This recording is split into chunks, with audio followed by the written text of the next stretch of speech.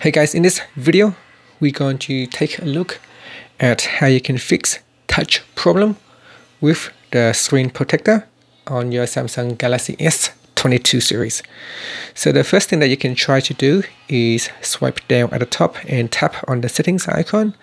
In settings, go down and tap on displayed. Then we go down to the bottom and turn on touch sensitivity is to increase the touch sensitivity of the screen for use with screen protectors. So if for some reason you have a screen protector on but it's not very sensitive you can try to turn this on. So that is the first thing that you can try to do. Alright the next thing that you can try to do is go back into settings and then go down and tap on accessibility. In accessibility you want to tap on visibility enhancement and go in here and turn off animations. So tap on remove animations. And this say that prevents some screen effects useful if you are sensitive to animation or screen movement. For some reason when you turn this one on to remove animations sometimes that can help with the touch screen problems when you are using the screen protector. So give that, give that a try. And one last thing that you can try to do is to go back into settings and then tap on display.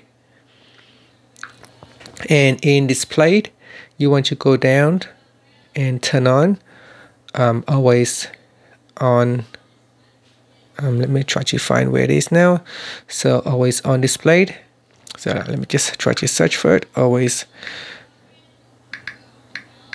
on display so it's on lock screen sorry. So it's in lock screen so we go to lock screen and then always on display you want to turn this one on always on display uh, it uh, might help some people uh, with the touch screen issues so turn this one on and then um, see if that can help with your touch issues on the screen when you are using a screen protector. Now, if you have tried all those settings and you still have an issues with the touch um, with the touch screen, then unfortunately, it could be that the issue is your screen protector itself. It could be maybe it's a low quality screen protector, even though you might pay quite a lot of money for it. Um, it could be a low quality screen protector. It could be the fact that it has not been installed correctly. If it's not installed correctly, um, unfortunately, you will need to remove it and install it again.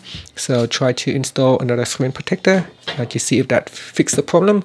Uh, obviously, um, it will cost you money to install another one, but uh, there is no point trying to use it if you have an issues with the screen and it's not very sensitive or it's not responding um, quite well, then uh, you need to replace the screen protector for get a new one and then hopefully the new one, a better one, will, will fix uh, the problem for you.